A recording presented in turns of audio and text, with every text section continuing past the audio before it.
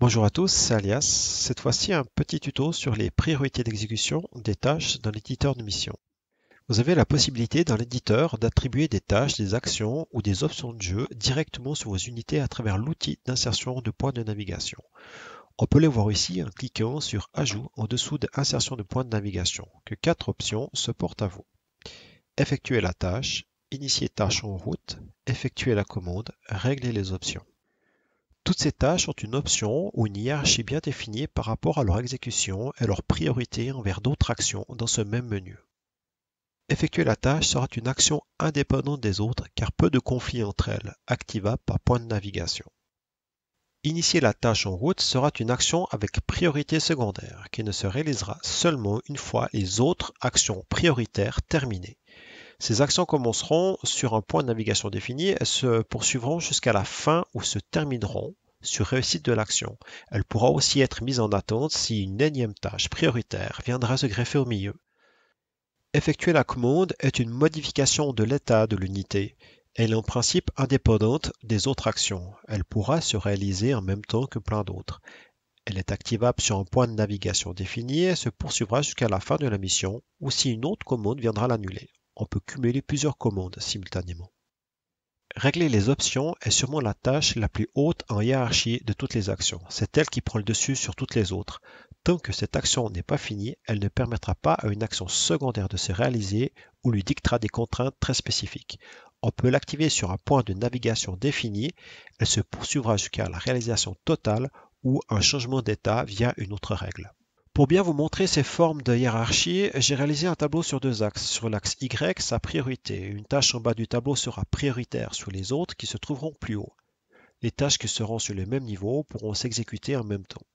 Ou dans certains cas, pour les tâches secondaires avec des contraintes liées à la tâche prioritaire. C'est un peu compliqué à dire ou à expliquer, mais euh, je vais vous montrer ça par la suite. Sur l'axe X, le temps sera défini. J'y insérerai même des repères de points de navigation pour bien vous montrer l'évolution de nos unités dans le temps.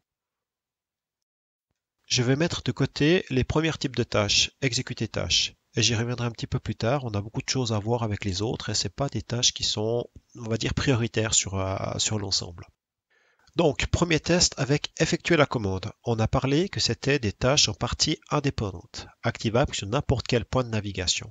On a plein de possibilités avec, mais on va juste voir la fonction immortelle. Comment l'activer, comment la désactiver, etc. Pour ce faire, j'ai pris un indice, je l'ai fait transiter par trois points de navigation, 1, 2 et 3. Sur le point de navigation 1 et 2, j'ai mis des BMP de façon à ce qu'avec la vue F10, je puisse voir qu'il arrive sur le point de navigation 1. Sur le point de navigation 1, une première action immortelle on, en mettant la coche dans on, et je vais sur le point de navigation 2. Sur le point de navigation 2, je remets la règle immortel off. Ça veut dire dès qu'il arrivera sur le point de navigation 1, il passera immortel. Une fois qu'il arrivera sur le point de navigation 2, il sera immortel off. Euh, pour tester ça, j'ai juste fait un trigger radio. Euh, une fois que le marqueur 1 sera activé, tout simplement, ça va activer une charge sur euh, le A10. Pour bien vous expliquer un petit peu comment ça va se passer sur mon tableau. Donc, j'ai inséré le point de navigation 0, le point de navigation 1, le 2. Je vais insérer Immortel On entre le 1 et le 2. Et après le 2, j'ai marqué Immortel Off. Et euh, ça montre dans quel ordre la, hiérarchie va se dérouler. Nous voilà en mission. Donc, moins 10, je vais directement faire mon test avant qu'il arrive sur le point de navigation 1 avec mon menu radio. On voit qu'il expose directement car il n'a pas eu le temps d'arriver sur le point de navigation 1 pour être Immortel On. Je recommence une fois ma mission, j'avance un tout petit peu plus vite, euh, j'attends qu'il dépasse le point de navigation 1, voilà. Ici, en théorie, il est Immortel On, je vais activer mon trigger. Il explose, on voit qu'il n'a rien, donc euh, il est Immortel On. Je recommence une dernière fois, avec euh, cette fois-ci, je vais activer euh, ma charge après le 1.2. Donc là, Immortel On, ici Immortel Off, et normalement il, doit repartir vulnérable, et c'est le cas. Petite explication, encore une fois, sur mon petit tableau. Donc, on a vu euh, le sens de la hiérarchie. Je peux très bien cumuler euh, des règles euh, prioritaires sur des commandes indépendantes. Ils n'ont aucune action entre les deux. Par contre, si je mets une tâche secondaire, la tâche secondaire restera en attente. Donc, on voit qu'elle est un peu plus haute. Une fois que la tâche prioritaire est exécutée, la tâche secondaire descendra sera en action en même temps que les commandes indépendantes. Donc, euh, je vais travailler toujours un petit peu avec ça pour vous montrer comment on va par la suite euh, faire des tests. Mais ce qui est très important et très intéressant de voir, c'est surtout sur au niveau des tâches secondaires et des règles prioritaires. Petite suite de ma vidéo de présentation avec euh, juste les exécuter tâche en route. Donc effectuer la tâche. Je l'ai supprimé volontairement de mon diagramme. Je vais juste le rajouter pour cet exemple-là pour vous montrer la différence entre les tâches prioritaires et les tâches secondaires. Tâche prioritaire est considérée comme effectuer la tâche, est une tâche indépendante qui démarre sur chaque waypoint, mais qui est une tâche prioritaire par rapport au initier tâche en route qui est une tâche secondaire qui s'exécutera une fois que toutes les tâches prioritaires seront exécuté. Donc, pour vous montrer, j'ai tout simplement mis trois betters, un better avec le numéro 3, le numéro 2 ici et le numéro 1. J'ai mis un A10. Ce A10, euh, il est équipé standard. J'ai euh, retiré toutes ces règles d'engagement sur tous les waypoints. Donc, tous les waypoints ici, il n'y a rien du tout. Sur le waypoint 1, je vais commencer à la porter, je veux dire lui donner des actions. Donc, la première action que je vais lui donner, ce sera euh, cette fameuse tâche, initier tâche en route, qui est une tâche, euh, une tâche secondaire. Cette tâche secondaire sera quoi? Sera engager l'unité. Je veux qu'il engage, le BTR du milieu. Comme deuxième tâche, donc on peut voir aussi que si je reviens un petit peu sur les initier tâches en route, c'est des tâches qui vont suivre pendant toute la mission. Ça veut dire qu'il pourra revenir en arrière sur sa tâche initier tâche en route donc celle-ci n'est pas achevée. On peut voir qu'elle commence au waypoint 1. J'ai mis un waypoint 2 et 3 volontairement. Si je vais au waypoint 2, je vois qu'il y a toujours un référentiel par rapport à son engagement et au 3 aussi. Donc on voit que c'est des actions qui, une fois demandées dans un waypoint, restera tout au long. Je vais ajouter une deuxième action qui sera cette fois-ci effectuer la tâche qui est considérée comme prioritaire. Attaquer unité. Je veux d'abord qu'il attaque l'unité du haut donc le BTR du haut. Et je vais rajouter comme troisième tâche, effectuer la tâche, attaquer unité, l'unité tout à droite, qui est la deuxième tâche prioritaire. On voit que cette tâche, effectuer la tâche, ne se répercute pas dans les waypoints. Tant qu'elles ne sont pas terminées, il ne passera à rien du tout. Pour voir quand mon trigger va se euh, déclencher, je vais tout simplement juste mettre un bateau sur le waypoint 1, comme ça je verrai bien que mon appareil va commencer à engager. Si je pronostique euh, ma mission, il va d'abord engager l'unité du haut, ensuite l'unité du bas, puis il va s'attaquer à l'unité du milieu qui est la tâche secondaire. On va voir ce qui se passe en mission. Nous voilà en mission.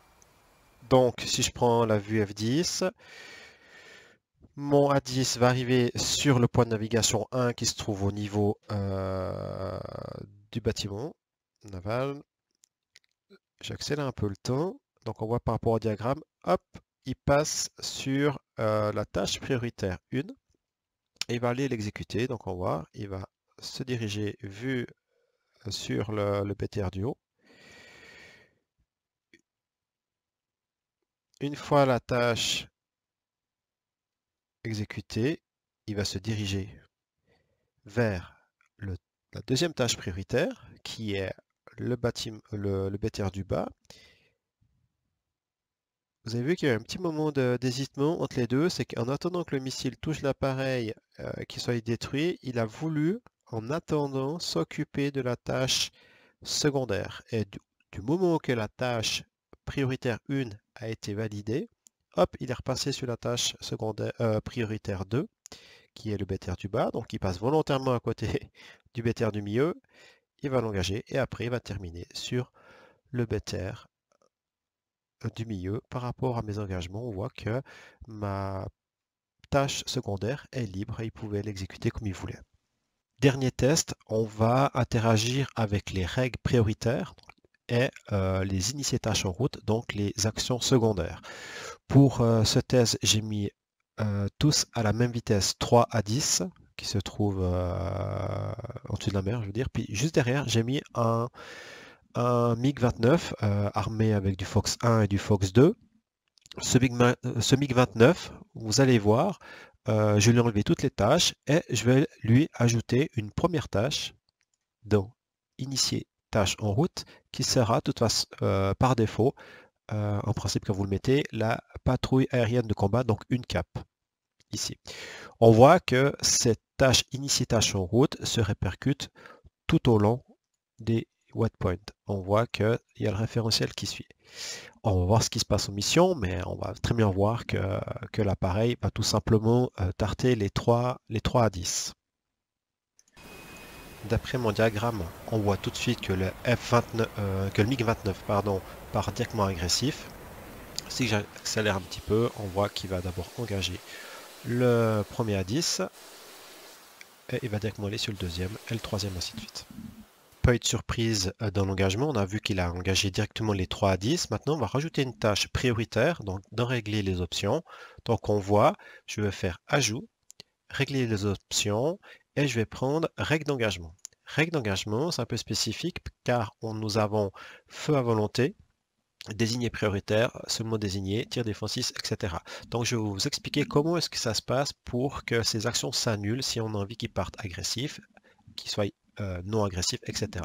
Donc on a vu pour qu'ils soient non agressifs, même avec une tâche euh, cap, on va tout simplement lui mettre euh, tir interdit. Donc on voit que sur mon diagramme, maintenant, j'ai la cape qui passe en dessus du tir interdit. D'après le diagramme, on voit que j'ai ma tâche euh, tâche en route, donc euh, la cape reste en attente et dessous j'ai tir interdit. Donc il va continuer comme ça jusqu'au point 2, 3 et après il va rentrer car il n'a aucune indication contradictoire par rapport à sa tâche. Maintenant, on va changer la donne avec euh, cette action en laissant règle d'engagement, pardon, tir interdit sur le waypoint 1, sur le point de navigation 1, donc euh, le, de départ, mais je vais mettre une troisième règle. Donc cette troisième règle, je vais ajouter la même chose, une règle prioritaire, régler les options, et je vais mettre euh, règle d'engagement, et cette fois-ci, je vais marquer feu à volonté. Donc, ces deux règles ici qu'on voit, elles vont, dans l'état actuel, agir les unes après les autres. Donc, il va commencer ma mission, le cap va être mis en attente, règle d'engagement, tir interdit va popper, il va directement être annulé par la troisième règle derrière. Ça veut dire que si je lance la mission maintenant, je ne veux pas le faire pour gagner du temps, mais mon appareil va directement partir agressif, même si j'ai la règle d'engagement au mieux qui est tir interdit, car celle-ci va être annulée par la troisième règle.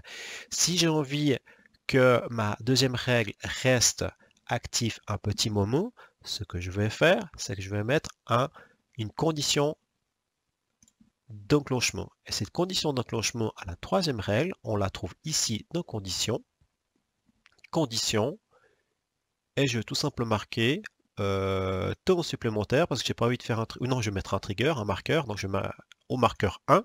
Voilà. Dès que le marqueur 1 sera vrai, ma règle sera réalisée et passera par-dessus euh, la règle tir interdit. Je vais juste faire un petit trigger. Donc nouveau, je vais juste le déclenchement trigger, je vais le faire par rapport à un facteur temps qui sera de, on va dire 60 secondes, hein. donc on aura le temps d'avancer en mission. Et qu'est-ce qui va se passer au bout de 60 secondes? Je vais marquer marqueur 1 activé et je vais, juste rajouter euh, euh, le message à tous pour voir que, je marquerai 60, 60 secondes, marqueur, euh, marqueur 1 on. 1 on. Voilà, comme ça on voit que le marqueur sera actif. On va voir en mission directement ce qui se passe avec le diagramme superposé. Nous voilà en mission. Donc, comme mon diagramme le montre, actuellement la tâche initiée, euh, je veux dire la cap, reste en attente car il y a tir interdit qui reste valide. On a vu que j'ai ma deuxième euh, règle qui est en attente de trigger. Donc ça veut dire qu'il va attendre les fameux 60 secondes pour activer mon trigger. Donc ce que je vais faire, je vais juste avancer juste que mes 60 secondes et vous verrez que ma deuxième tâche va venir se superposer à ma première tâche prioritaire et l'annuler.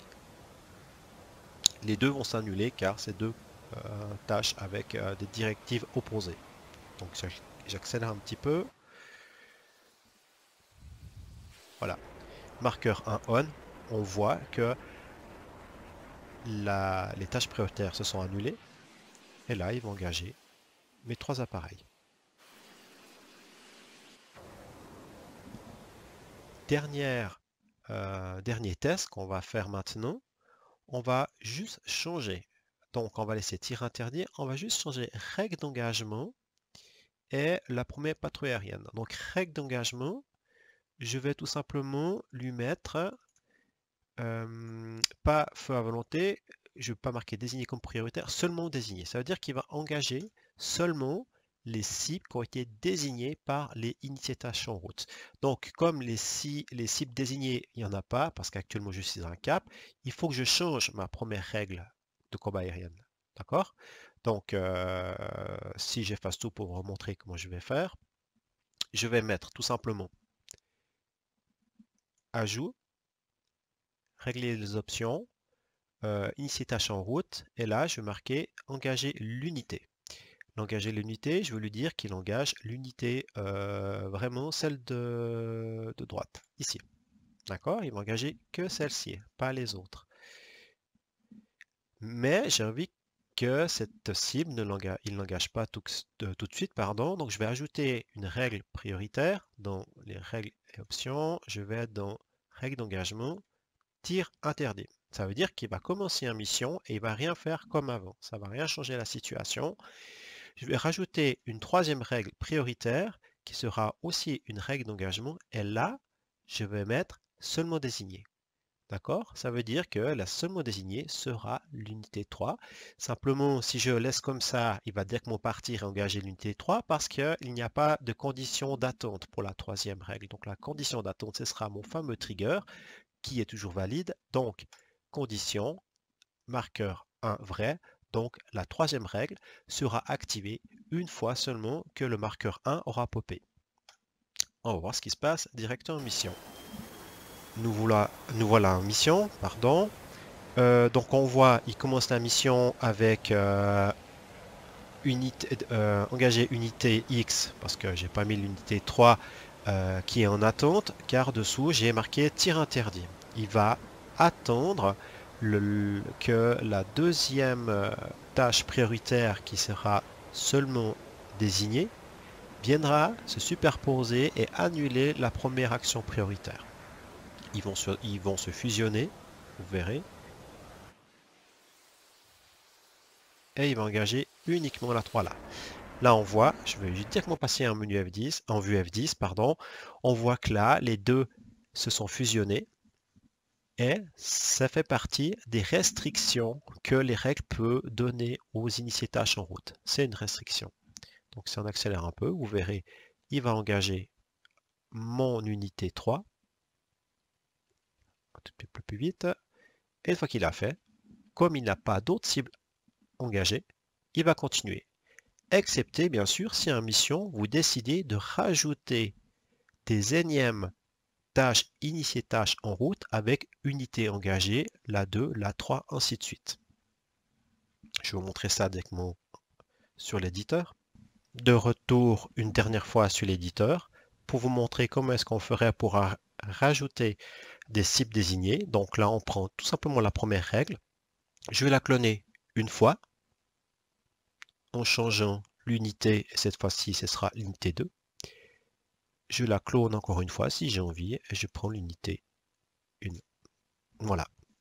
Donc il va commencer en mission, il va commencer à, désigner, à engager les cibles par contre chronologiquement dans l'ordre euh, de mes règles, donc c'est-à-dire l'unité 3, euh, l'unité qui est tout à droite et la première unité. J'espère que ces tutos ont pu et pourront vous rendre service. Euh, concernant ces règles prioritaires, je pense qu'on a un peu fait le tour car ça va fonctionner partout la même chose. Je vous souhaite une bonne journée et à bientôt. C'était Alias.